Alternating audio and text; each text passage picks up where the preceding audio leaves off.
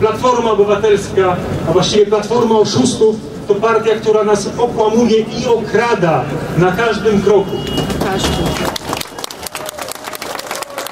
Platforma Obywatelska to, uwaga drodzy Państwo, spodziewam się być może nawet jakiś pozów z tego tytułu. To złodzieje.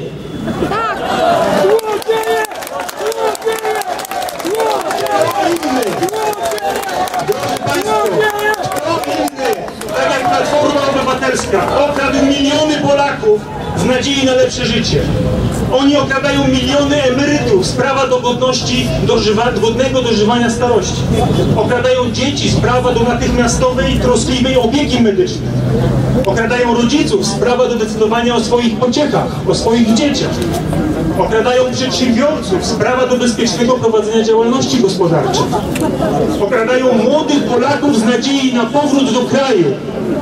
Okradają nas wszystkich z prawa do sprawiedliwości w sądach, z prawa do pracy, godnego życia.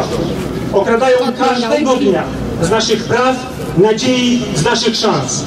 Zegarki Nowaka, milionowe nagrody dla nieudaczników za Stadion Narodowy, spotkania na cmentarzach, stacjach benzynowych, publiczne wydawanie pieniędzy na rozrywki, wizyty w nocnych klubach, drogie garnitury, nepotyzm, kolesiostwo na niespotykaną dotychczas skalę.